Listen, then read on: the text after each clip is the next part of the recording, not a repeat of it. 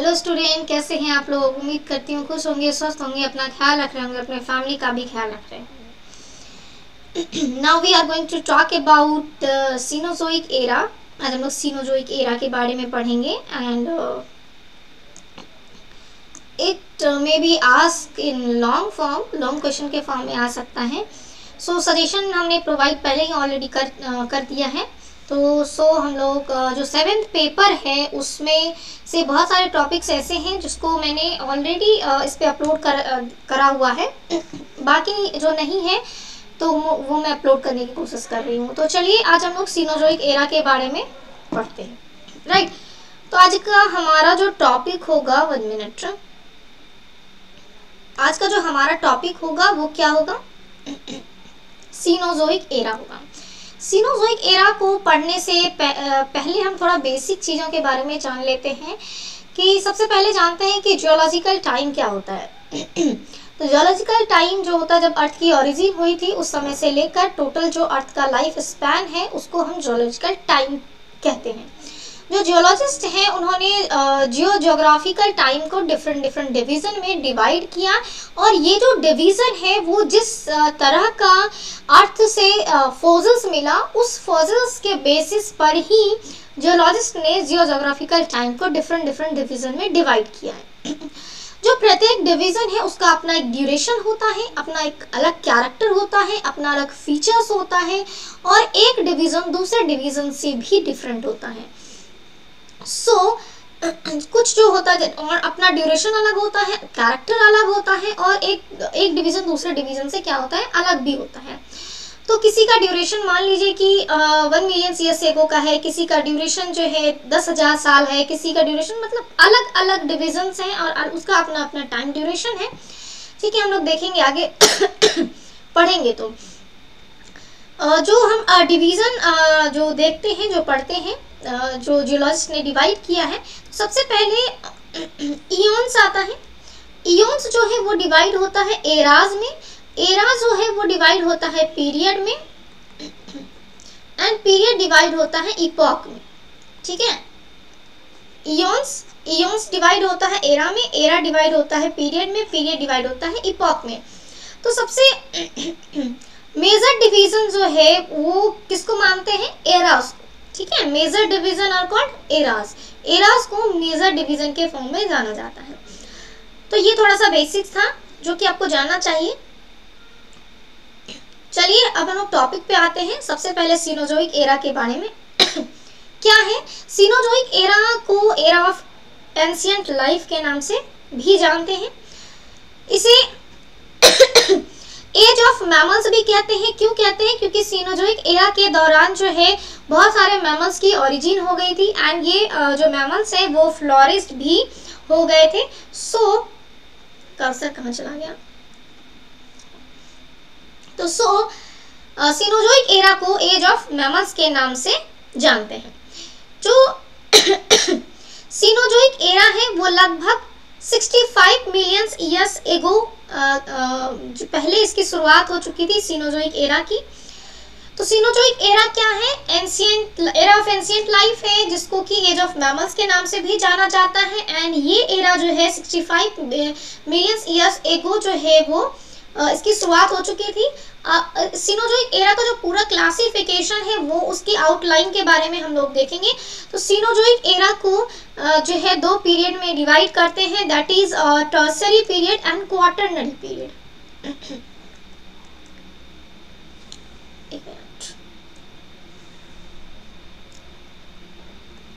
tertiary period and quaternary period right तो इसके outline पे हम डिस्कस करेंगे and Cenozoic era belongs to the eon Phanerozoic जो सीनोजोइक एरा है इसका इयोन्स आपको फिनरोजोइक है और ये किस uh, हम लोग जो पढ़ रहे हैं वो ऑलरेडी सीनोजोइक एरा पढ़ रहे हैं and Cenozoic era is further divided into a period that is tertiary period and quaternary period now tertiary period is further uh, divided into a subdivision that is a paleozene and neozene tertiary period जो है, वापस से epoch में divide होता है and epoch is denoted in form of अगर years की बात करें तो मिलियंस ईयर्स एगो में इसे डिनोट करते हैं। टर्सरी पीरियड जो है टोटल जो है फाइव इपॉक में डिवाइड होता है and this five epoch are Paleocene Eocene Oligocene Miocene Pliocene सारे अलग अलग इपॉक का अपना एक टाइम ड्यूरेशन है। ठीक है? जैसे कि पैलियोसिन का टाइम ड्यूरेशन है 65 मिलियन ईयर्स एगो ईयोसिन का टाइम ड्यूरेशन है 56.5 मिलियन ईयर्स एगो ऑलिगोसिन का 35.4 मिलियन ईयर्स एगो मायोसिन का 23.3 मिलियन ईयर्स एगो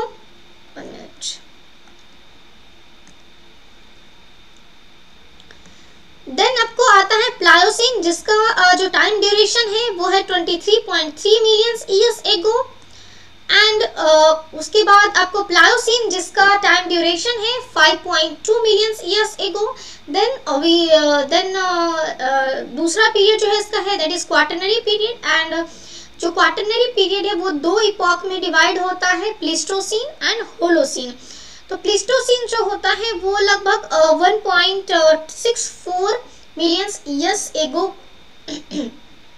के पहले क्या है? एंड होलोसिन जो है, वो 0.01 मिलियन ईयर्स एगो पहले का है। एंड होलोसिन को रिसेंट इपॉक के नाम से भी हम जानते हैं। तो अगर टोटल सीनोजोइक एरा को कितने इपॉक में डिवाइड किया गया है? तो काउंट करिए आप इसे। One two three four five six seven total seven epoch में सीनोजोइक एरा को जो है क्लासिफाई किया गया है डिवाइड किया गया है। तो कैसे इयोन एरा में डिवाइड होता है? एरा पीरियड में डिवाइड होता है पीरियड इपॉक में डिवाइड होता है। आई थिंक क्लियर हो चुका होगा आपको। तो हम लोग एक एक करके हर पीरियड के बारे में, हर इपॉक के बारे में हम पढ़ेंगे।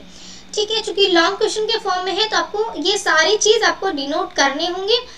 और यदि आप लोग को नोट चाहिए तो नोट्स मैं टेलीग्राम चैनल पे जो है वो अपलोड करती हूँ। आप वहाँ पे जो है ले सकते हैं नोट्स तो हमारा टेलीग्राम चैनल है विद्या इंस्टीट्यूट यदि आपको नोट्स जो है चाहिए तो नोट्स के लिए आप टेलीग्राम चैनल हमारा ज्वाइन कर सकते हैं।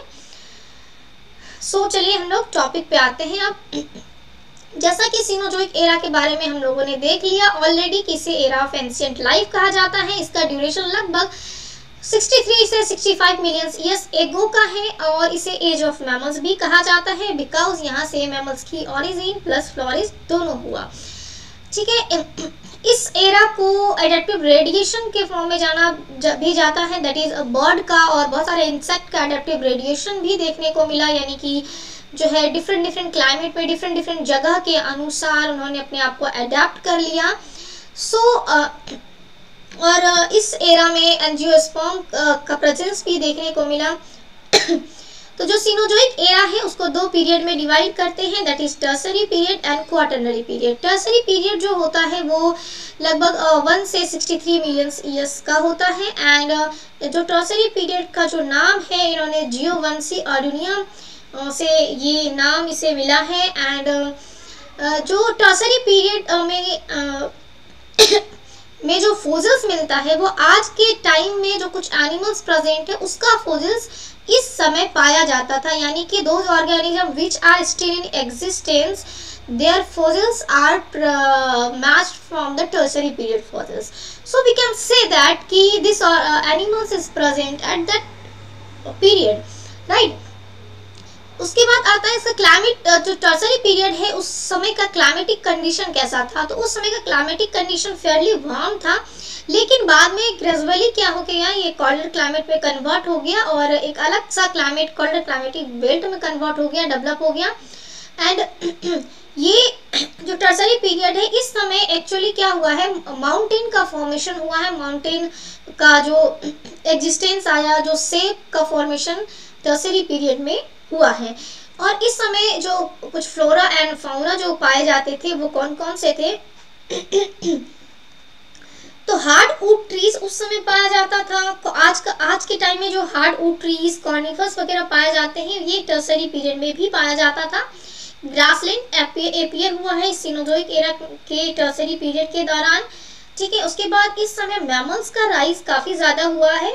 एंड जो टर्सरी पीरियड के जो मैमल्स हैं, उनका जो हाइट था, वो स्मॉल था शॉर्ट लेग था, यानी छोटे छोटे पैर थे, उसके फ्लैट जो है फुट था, यानी जो पैर है, उसका बिल्कुल फ्लैट टाइप का होता था। जो मॉडर्न प्लेसेंटल मैमल से वो अपेयर हुआ था। मॉडर्न प्लेसेंटल एनिमल कहने का मतलब कि आज के टाइम में जो भी प्लेसेंटल मेमल्स पाए जाते हैं, ऐसा ही प्लेसेंटल मेमल्स उस समय भी पाया जाता था। तो टर्सरी पीरियड को फर्दर फाइव इपॉक में डिवाइड कर, करते हैं that is Paleocene Eocene Oligocene Miocene and Pliocene. ठीक है तो एक एक करके हम इन चीज़ के बारे में डील करेंगे। सबसे पहले हम लोग पेलियोसिन के बारे में पढ़ेंगे कि पेलियोसिन क्या होता है। तो पेलियोसिन का जो ड्यूरेशन है वो फाइव मिलियन ईयर्स एगो का है। उस समय का जो क्लाइमेट था वो फेवरेबल था मैमल्स के लिए। सो दैट्स वाई मैमल्स जो है उस समय उसको अडेप्ट करके और अपने को सरवाइव करा पाए। ठीक है?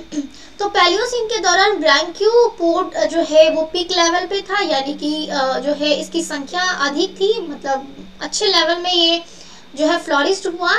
ठीक है, लेकिन ये इसी इपॉक के दौरान जो है, ये एक्सटेंड भी कर गया। तो सबसे पहला कार्निवोस मैमल्स जो है, वो क्रीडोन जो है, वो इवॉल्व हुआ और बर्ड भी इवॉल्व हुए। तो उस समय का जो बर्ड का साइज़ जो था, वो विजल की तरह था। लेकिन ये भी इस इपॉक के खत्म होते होते ये भी एक्सटेंड कर गया। उसके बाद आता है दूसरा epoch that is Eocene epoch Eocene जो टर्म है, वो दो ग्रीक वर्ड से लिया गया है, जिसका मतलब होता है dawn of modern life modern life की तरफ़ अब हम लोग बढ़ते जा रहे हैं, यानी कि मॉडर्न लाइफ का डेवलपमेंट होना स्टार्ट हो गया इोसिन से। तो इोसिन में आपको एंजियोस्पर्म जो है, वो अच्छा खासा फ्लोरिस्ट हो गया सक्सेसफुल ये जो है ये एक तरह से आप कहिए कि ये सक्सेसफुली जो है रहने लगा। मतलब ये फिर डिस्ट्रॉय नहीं होने लगा, खत्म नहीं होने लगा, जो कि आज के टाइम में हम एंजियोस्पर्म को देख रहे हैं। ठीक है, और इस समय जो योसिन इपॉक है, इस इस दौरान मोनोट्रीम्स भी एग्जिस्टेंस में आया। मोनोट्रीम्स कहें तो आप लोगों ने पार्ट टू में पढ़ा होगा। मोनोट्रीम्स का मेमल्स का क्लासिफिकेशन जब आप पढ़ते हैं ना तो मेमल्स के क्लासिफिकेशन में ये मोनोट्रीमाटा आता है, ठीक है? यूथेरियन मेमल्स आता है, ठीक है? तो जो उसमें से जो ये मोनोट्रीमाटा मोनोट्रीम्स जो है तो वो एग्जिस्टेंस में आया मोनोट्रीम्स जैसे कि इकिडना टेकिग्लोसस ये सारे मैमल्स हैं जो कि मोनोट्रीम्स में आते हैं, ठीक है? तो ये एक्चुअली में ना ओवो वीवी पेरस होते हैं। जो मोनोट्रीम्स वाले एनिमल्स होते हैं ओवो वीवी पेरस होते हैं। ठीक है? तो आ, ये एग्जिस्टेंस में आए लेकिन जो है ये उस समय मतलब योसिन के दौरान प्लेसेंटल मेमल्स का डाइवर्सिफिकेशन ज़्यादा देखने को मिला। राइट लेकिन जो है ईओसिन के एंड होते होते बहुत सारे जो मैमल बहुत सारे मैमल्स जो हैं वो एग्जिस्टेंस में आए। इस इपॉक में आपको कैमल पिग हॉर्स ये सारे एनिमल्स जो हैं आपको प्रेजेंट थे। वेल सी काउ जो है वो वापस से रिटर्न हो गए सी में। मतलब कुछ एनिमल्स ऐसे थे जो कि एग्जिस्टेंस में आए, फिर ख़त्म हो गए। कुछ जो है वो वाटर से इवॉल्व मतलब वाटर में रहने वाले थे, वो फिर लैंड पे आ गए, फिर वापस से वाटर में चले गए। ठीक है तो इस इपॉक में आपको कैमल्स पिग हर्स ये सारे एनिमल्स आपको देखने को मिलते हैं। वेल और सी काउ जो है, वो सी में रिटर्न मिला हुआ। बैट जो है, जिसको कि कैरप्टेरा ऑर्डर में आता है बैट ये जो है मतलब एयर में उड़ने लग गया। ठीक है, उसके बाद ऑलिगोसीन आता है। ऑलिगोसीन इपॉक में जो है, ये जो ऑलिगोसीन जो नेमिंग है, ये ग्रीक वर्ड से लिया गया है, जिसका मतलब कुछ मॉडर्न होता है लिटिल मॉडर्न होता है, क्योंकि हम लोग इोसिन में थोड़ा मॉडर्न में चल रहे थे, अब हम लोग थोड़े और मॉडर्न मतलब होता जा रहा है जो जोलॉजिकल टाइम है, वो और मॉडर्न होता गया एंड इस समय का जो क्लाइमेट क्लाइमेटिक कंडीशन था, वो प्लीजेंट हो गया, ठीक है? लगभग जो है कूलर वेदर का शुरुआत भी होने लगा, यहाँ से मतलब बहुत कूल वेदर का फॉर्मेशन होने लगा एंड इस समय जो है मतलब ओलिगोसिन के दौरान जो है अर्थ क्रस्ट में काफ़ी ज़्यादा मूवमेंट देखने को मिला। एंड इस समय ओलिगोसिन के दौरान मोनोकोट मोनोकोट्स की संख्या बढ़ी। कुछ फ्लावरिंग प्लांट्स भी यहाँ पे फ्लोरिस्ड होने लगे। यूथेरियन मैमल्स यानी कि ट्रू मैमल्स यूथेरियन का मतलब ट्रू मैमल्स यू का मतलब ट्रू होता है थेरियंस मैमल्स ठीक है यूथेरियन मैमल्स जो है इस समय आ, आ, जो है एग्जिस्टेंस में आए। एंड इस समय हॉर्स जो है ओलिगोसिन इपॉक का जो हॉर्स था उसके पास तीन टोई था। ठीक है? हम लोग हॉर्स का इवोल्यूशन पढ़ेंगे तो आपको समझ में आएगा कि किस आ, किस इपॉक में कितने टोई वाले हॉर्स हुए हैं। किस तरह का किस तरह हॉर्स का भी इवोल्यूशन हुआ है। तो हम लोग हॉर्स का इवोल्यूशन इसके जस्ट बाद ही पढ़ेंगे। ठीक है? तो ओलिगोसिन वाले जो हॉर्स हैं उसमें तीन टोई आपको देखने को मिलेगा। इस समय राइनासोर्स जो है वो लार्जर साइज़ वाले राइनासोर्स देखने को मिलेंगे मंकी एप्स जो है वो एग्जिस्टेंस में आए। उसके बाद आता है मायोसिन मायोसिन में जो अल्प जो है वो अपना जो मैक्सिमम हाइट होता है वो गेन करा।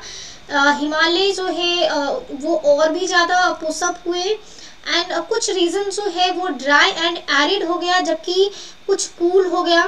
ठीक कूल एंड वेट टाइप का हो गया। एंड जो इसमें डेसिडुअस ट्री जो है, ज़्यादा एबंडेंट अमाउंट में पाया जाने लगा। इस समय मॉडर्न मैमल्स का डेवलपमेंट भी हुआ। ठीक है कार्निवोर ऑर्डर के जो एनिमल्स हैं उसका डेवलपमेंट हुआ। That is ungulates rodents elephants ये सारे डेवलप हुए। जो प्राइमेट्स हैं, वो एग्जिस्टेंस में आए। जैसे कि मैरी चिपस मैरी चिपस क्या है? एक हॉर्स है। मतलब uh, मैरिचिपस जैसे कि हम लोग मैन का इवोल्यूशन पढ़ते हैं Sivapithecus Ramapithecus Kenyapithecus ये सब होता है। उसी तरह हॉर्स में मैरिचिपस यूहिपस ये सारे टर्म्स आगे आपको देखने को मिलेंगे। ठीक है मतलब अलग अलग ईओसिन के इपोक को अलग अलग मतलब हॉर्स के नाम नेमिंग करा गया है। तो मैरिचिपस जो हॉर्स है उसका इवोल्यूशन जो है वो एक्चुअली इसी इपोक में हुआ है मायोसिन में। ठीक है उसके बाद नेक्स्ट आता है प्लायोसिन इपोक हम लोग पढ़ के आए हैं। टर्सरी पीरियड ठीक है? तो प्लायोसिन का जो टाम क्लाइमेटिक कंडीशन था, वो टेम्परेट था ग्रासलैंड जो है वो ज़्यादातर फैला हुआ था ग्रासलैंड ठीक है? प्लेसेंटल मैमल्स जो है लगभग आज का जो प्लेसेंटल मैमल्स होता है, उसकी तरह था। उस प्लायोसिन इपोक के दौरान एलिफेंट वाइल्ड हॉर्स जो है, ज़्यादा एबंडेंट में पाया जाता था। ठीक है, जो कि माइग्रेट होकर के वर्ल्ड ओल्ड वर्ल्ड में वापस से चला गया। ठीक है, और उस समय मतलब प्लायोसिन के दौरान जो है आपको राइनासोस हिप्पोपोटामस का कैमल का जो है फोजल्स मिलता है। तो हमें प्लायोसिन जैसे कि एलिफेंट का या इसका किसी भी ऑर्गेनिज्म का जब फोजल्स मिलता है तो हम उसकी स्टडी करते हैं। स्टडी करने के बाद जो है मतलब पता लगाते हैं कि ये कितने साल पुराना फोजल्स है और किस ईयर का है, किस पीरियड का है, किस इपॉक का है। तो वो जो ये सारे ऑर्गेनिज्म है, इसका फोजल समय प्लायोसिन इपॉक का मिलता है। तो हम ये कह सकते हैं कि इस तरह का ऑर्गेनिज्म जो है प्लायोसिन इपॉक में भी पाया जाता था। सो तभी तो उसके फोजल समय प्राप्त हो रहे हैं, मिल रहे हैं। तो सो जैसे कि अगर मैन में भी थोड़ी देर पहले हम बता रहे थे कि मैन का एवोल्यूशन में जो है, बहुत सारे नेमिंग है, Sivapithecus Kenyapithecus Australopithecus जिसमें से कि एक यहाँ पे हमने रिप्रेजेंट करा है प्लायोसिन के दौरान सबसे पहला मैन जो था, उसकी डिस्कवरी हुई है, यानी प्लायोसिन के रॉक से ऑस्ट्रेलोपिथेकस का फोसिल्स मिला, ठीक है? तो इससे हम ये अंदाज़ा लगा सकते हैं कि Australopithecus is the first ape man जिसकी डिस्कवरी प्लायोसिन रॉक से हुई है। ठीक है हम लोगों ने ये ट्रा जो टर्सरी पीरियड था, उसमें हम लोगों ने कौन कौन सा इपॉक पढ़ा? Paleocene Eocene Oligocene Miocene Pliocene ठीक है? अब हम लोग आते हैं दूसरा दैट इज़ क्वार्टरनरी पीरियड तो क्वार्टरनरी पीरियड का जो क्लाइमेटिक कंडीशन था वेरिएबल था, वो चेंज होता रहता था। क्वार्टनरी पीरियड के दौरान चार ग्लेशिएशन पीरियड आए, जिसके कारण क्या हुआ? बहुत बार लाइफ डिस्ट्रॉय हुई, बहुत बार लाइफ का फॉर्मेशन हुआ। तो इस तरीके से जो है इस पीरियड का फॉर्मेशन हुआ। ठीक है एंड क्वार्टनरी पीरियड को एज ऑफ़ मैमल्स के नाम से जाना जाता है। जो लास्ट आइस एज आया था यानी कि लास्ट जैसे कि हमने बताया कि क्वार्टनरी पीरियड के में टोटल चार ग्लेशिएशन पीरियड्स आए हैं जिसमें से कि लास्ट चौथा जो ग्लेशिएशन पीरियड आया था पिछली आ, मतलब आ, पीछे वो कब था? लगभग दस हज़ार साल पहले। ठीक है तो ये क्वार्टनरी पीरियड को फर्दर टू इपॉक में डिवाइड करते हैं। प्लिस्टोसिन होलोसिन होलोसिन को रिसेंट इपॉक के नाम से भी जाना जाता है। प्लिस्टोसिन जो है, वो लगभग एक मिलियन ईयर्स एगो जो है प्लिस्टोसिन इपॉक था। एंड इस, ये लगभग खत्म हुआ है। आपको जो है फाइव टू टेन थाउज़ेंड लगभग पाँच से दस हज़ार साल पहले। ठीक है? ग्लेशिएशन जो होता है ग्लेशिएशन आता है तो ग्लेशिएशन के कारण क्या होता है? लाइफ का डिस्ट्रक्शन होता है लाइफ खत्म होता है, फिर वापस से लाइफ का फॉर्मेशन होता है। ठीक है? तो बहुत सारे एनिमल जो है डिस्ट्रॉय हो गए, बहुत सारे एनिमल वापस से फिर इवॉल्व हुए। ठीक है? बहुत सारे प्लांट स्पीसीज वापस से रीडिस्ट्रक्ट हुए, फिर बने, फिर ख़त्म हुए। ठीक है? उसके बाद एडेप्टिव मॉडिफिकेशन कुछ एनिमल्स में हुआ, जिसके कारण क्या हुआ कि वो एनिमल सरवाइव किया। यानी कि जो जो जिस जिस ऑर्गेनिज्म में, जिस एनिमल्स ने, जिस प्लांट्स ने जो है जो इवॉल्व हुआ, वो जैसे जैसे क्लाइमेटिक कंडीशन चेंज हो गया, होता गया ग्लेसिएशन आता गया लाइफ डिस्ट्रॉय होता गया उस वैसे कंडीशन में भी, वैसे सिचुएशन में भी अपने आप को अडेप्ट करके रखा अलग अलग बदलते इन्वायरमेंट में भी तो उन्होंने अपने अंदर एक अडेप्टेशन क्रिएट कर लिया जिसके कारण वो सरवाइव कर पाया। जो सरवाइव नहीं कर पाया they are eliminated by the nature वो नेचर से एलिमिनेट हो गया। नेचर ने उसे रिजेक्ट कर दिया। ठीक है? तो आ, कम जो प्लिस्टोसीन रॉक से बहुत सारे तरह के फोजिल्स हमें मिलते हैं। उसके बाद नेक्स्ट आता है आ, जो है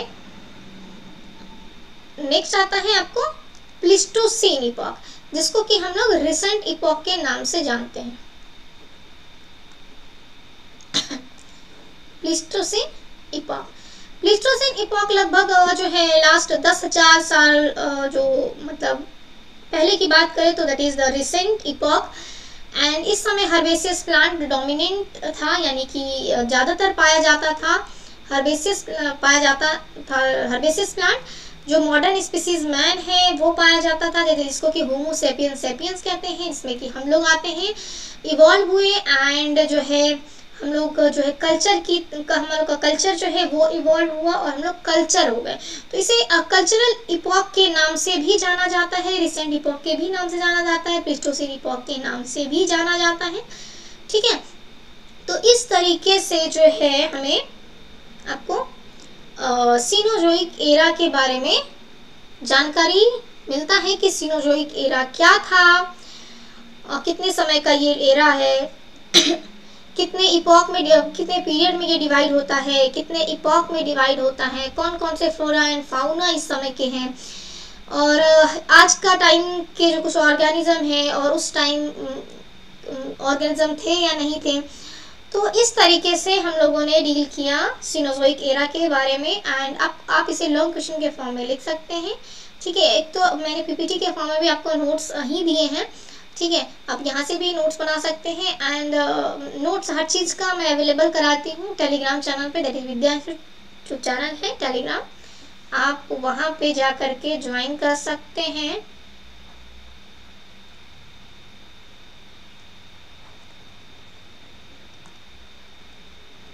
ठीक है ये हमारा टेलीग्राम चैनल है। यहाँ आप जाके ज्वाइन कर सकते हैं जहाँ आपको नोट्स जो है मिल जाएगा। तो सो so, आज के लिए हम लोग इतना ही रखते हैं। In next class will discuss about the evolution of horse उम्मीद करती हूँ कि आप अच्छे से पढ़ रहे होंगे एग्ज़ाम की तैयारी कर रहे होंगे एंड आपका एग्ज़ाम जो है वो आने वाला है। तो अपना ख्याल रखें एंड अपने फैमिली का ख्याल रखें खुश रहें स्वस्थ रहें। लाइफ एंजॉय करते रहें।